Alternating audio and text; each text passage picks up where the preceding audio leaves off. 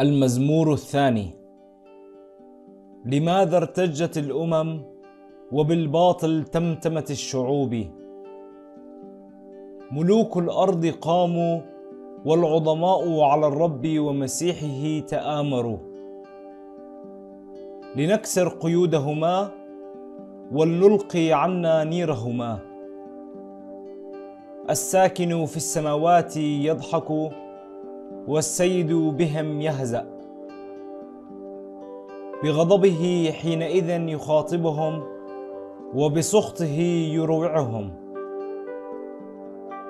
إني مسحت ملكي على جبل المقدس صهيون. أعلن حكم الرب. قال لي أنت ابني وأنا اليوم ولدتك. سلني فأعطيك الأمم ميراثا وأقاصي الأرض ملكا. بعصا من حديد تكسرهم وكإناء خزاف تحطمهم. أيها الملوك الآن تعقلوا ويا قضاة الأرض اتعظوا. اعبدوا الرب بخشية. وقبلوا قدميه برعدة.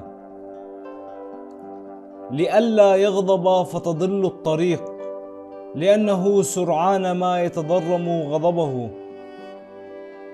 فطوبى لجميع الذين به يعتصمون.